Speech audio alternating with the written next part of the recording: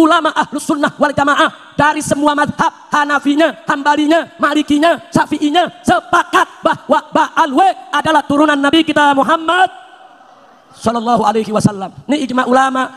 Saya sudah teliti seteliti-telitinya berdasarkan kitab-kitab nasab, kitab-kitab sejarah, hasil tes DNA bahwa mereka dengan pasti mustahil sebagai keturunan baginda Nabi besar Muhammad sallallahu alaihi wasallam.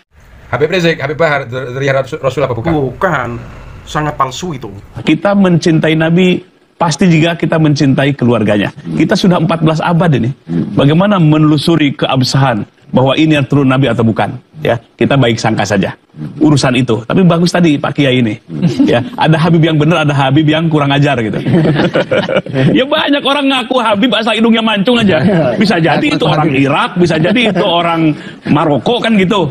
Ngaku ke Indonesia Habib, percaya aja gitu. Tapi kelakuannya kurang ajar. Isi orang dipinta misalnya. Saya dulu pernah pesantren sering datangi oleh Habib palsu itu. Ya. Tiap datang minta uang, bahkan minta istri gitu, ya. minta, minta perempuan. Sampai itu ketika datang si yang ku Habib itu, dia bilang ke santrinya, bilang ya, Pak Kiai lagi nggak ada katanya gitu. Saking pusing gitu.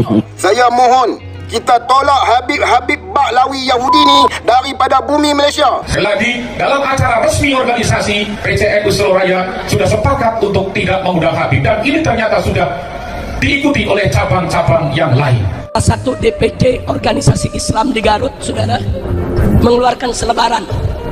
Isinya jangan undang habaib, isinya jangan undang habaib. Kecuali kalau habaib itu sudah ada pengakuan lembaga nasab internasional. Luar biasa, saudara. Nggak main-main ini pengaruh para begal nasab, saudara.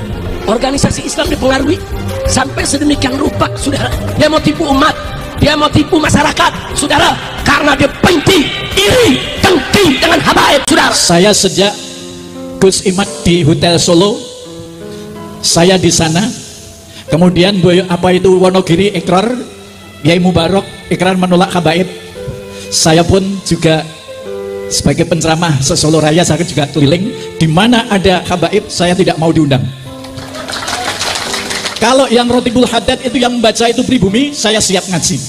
Tapi kalau yang baca habaib, cari mubalik yang lain. Saya hari ini Bismillahirrahmanirrahim. Asyhadu an la ilaha illallah Wa asyhadu anna Muhammad Rasulullah. Saya hakul yakin bahwa Ba'alawi bukan keturunan Nabi Muhammad Sallallahu Alaihi Wasallam. Kami para Ba'alawi Kami Ba'alawi silahkan kalian hina. Hina, hina kami sesudah hati kalian. Fitnah kami sesudah hati kalian.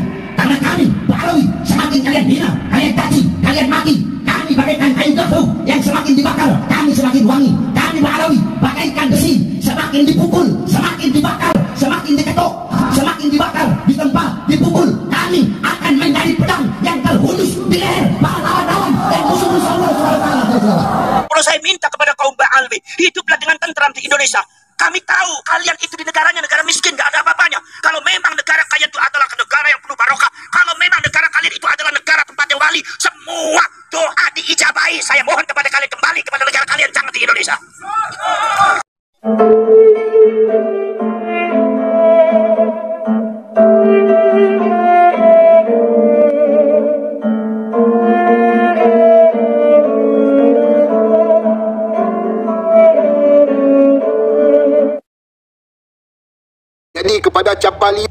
Dan Kuburiun di Malaysia maupun Indonesia. Saya ingin katakan bahawa kita tolak Habib-Habib Baklawi Yahudi ni kepada pemimpin-pemimpin Malaysia pemegang-pemegang jawatan agama di dalam Malaysia.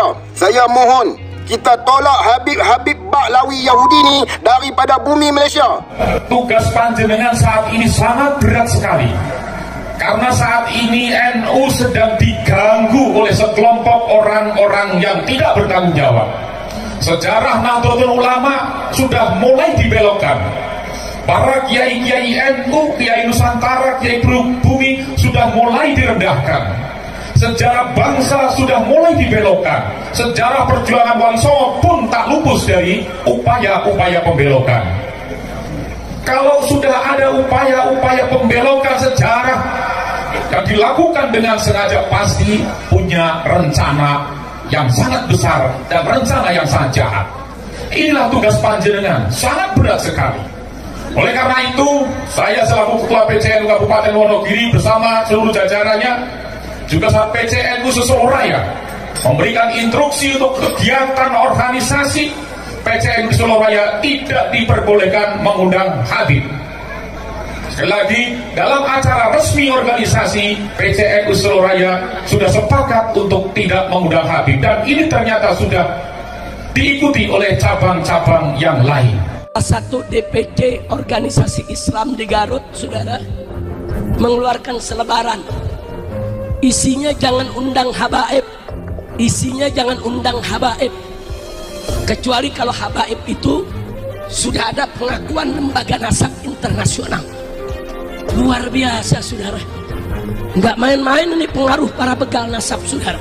Organisasi Islam dipengaruhi sampai sedemikian rupa, saudara. Dia mau tipu umat, dia mau tipu masyarakat saudara karena dia benci iri dengki dengan habaib saudara Saya sejak Gus Imat di Hotel Solo, saya di sana. Kemudian apa itu Wonogiri ikrar, Yai Mubarok ikrar menolak habaib. Saya pun juga sebagai penceramah sesolo raya saya juga keliling di mana ada habaib saya tidak mau diundang. Kalau yang Rotibul Haddad itu yang membaca itu pribumi, saya siap ngaji. Tapi kalau yang baca habaib, cari mubalek yang lain. Ini saya tegas, karena apa? Saya ikut merasakan. Merasakan apa itu dipraming oleh Habib. Ada Habib sering ke rumah saya. Saya senang Habib dari zaman datang rumah saya dengan jenggotnya yang basah pakai pakai apa itu?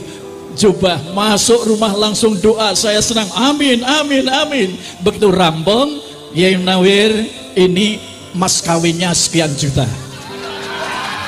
Ulama ahlus sunnah wal jamaah dari semua madhab Hanafinya, Hambalinya, Malikinya, Syafi'inya sepakat bahwa Ba'alwe adalah turunan Nabi kita Muhammad Sallallahu alaihi wasallam. Ini ijma ulama. Saya sudah teliti seteliti-telitinya berdasarkan kitab-kitab nasab, kitab-kitab sejarah, hasil tes DNA bahwa mereka dengan pasti mustahil sebagai keturunan baginda Nabi besar Muhammad sallallahu alaihi wasallam. Habib Rizik, Habib Bahar dari Rasul apa bukan? Bukan. Sangat palsu itu. Ulama ahlus sunnah wal jamaah dari semua madhab Hanafinya, Hambalinya, Malikinya, Syafi'inya sepakat bahwa Ba'alwe adalah turunan Nabi kita Muhammad Sallallahu alaihi wasallam. Kita mencintai Nabi pasti juga kita mencintai keluarganya. Kita sudah 14 abad ini. Bagaimana menelusuri keabsahan bahwa ini yang turun Nabi atau bukan? Ya, kita baik sangka saja urusan itu. Tapi bagus tadi Pak Kiai ini. Ya, ada Habib yang benar, ada Habib yang kurang ajar gitu. ya banyak orang ngaku Habib asal hidungnya mancung aja. Bisa jadi itu orang Irak, bisa jadi itu orang Maroko kan gitu. Ngaku ke Indonesia Habib, percaya aja gitu. Tapi kelakuannya kurang ajar. Isi orang dipinta misalnya. Nah itu persoalan di tengah masyarakat. Saya dulu pernah pesantren sering datangi oleh Habib palsu itu. ya. Tiap datang minta uang. Bahkan minta istri gitu ya. minta, minta perempuan. Sampai itu ketika datang si yang ku Habib itu, dia bilang ke santrinya, bilang ya, Pak Kiai lagi nggak ada katanya gitu. Saking pusing gitu. Nah ini masyarakat kita harus paham. Makanya keturunan pengakuan mah gampang aja. Yang harus kita buktikan kalau benar keturunan Nabi, takwanya paling tinggi. Akhlaknya paling mulia, paling soleh, itu baru keturunan Nabi.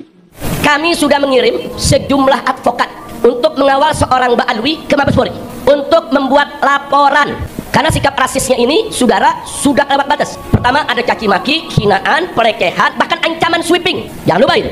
Ini sikap rasis sudah kelewatan. Jadi dia bukan hanya mengumbar kebencian menyebar kebencian saudara tapi juga membahayakan keselamatan nyawa Ba'alwi sampai di sana diskusi lebih dari 4 jam di Mabes Polri sampai ke mega cybercrime saudara. Krimin kriminal daripada kriminal cyber saudara. Enggak enggak dilayan mereka tolak. Nah, justru sekarang yang saya ingin protes adalah Mabes Polri. Saya ingin protes langsung ke Bapak Kapolri. Ada apa? Habib Rizik melaporkan Kiai Imad ke polisi, tapi malah tidak dilayani karena semua orang tahu kalau yang teraniaya dan dicaci maki itu Kiai Imaduddin, apakah mereka buta ceramah para habaib yang penuh makian termasuk dengan dirinya dasar-dasar sendiri? Al-Quran wal hadis tadi dan dengan dibantu dengan data-data ilmiah dari sisi ilmu nasab, dari sisi ilmu filologi, dari sisi ilmu DNA, maka saya hari ini Bismillahirrahmanirrahim Asyhadu an la ilaha illallah Wa asyhadu anna Muhammad Rasulullah Saya hakul yakin bahwa Ba'alawi bukan keturunan Nabi Muhammad Sallallahu Alaihi Wasallam. Kami para Ba'alawi, kami Ba'alawi, silahkan kalian hina. Hina, hina kami sesudah hati kalian. Fitnah kami sesudah hati kalian. Karena kami Ba'alawi, semakin kalian hina, kalian caci, kalian maki. Kami bagaikan kayu gafu yang semakin dibakar, kami semakin wangi. Kami Ba'alawi, bagaikan besi, semakin dipukul, semakin dibakar, semakin diketuk, semakin dibakar, ditempa, dipukul. Kami akan menjadi pedang yang terhunus di leher para lawan-lawan dan musuh-musuh Allah. Perlu saya minta kepada kaum Ba'alwi, hiduplah dengan tentram di Indonesia. Kami tahu kalian itu di negaranya negara miskin, gak ada apa-apanya. Kalau memang negara kalian itu adalah negara yang penuh barokah, kalau memang negara kalian itu adalah negara tempatnya wali, semua doa diijabahi. Saya mohon kepada kalian kembali kepada negara kalian, jangan di Indonesia.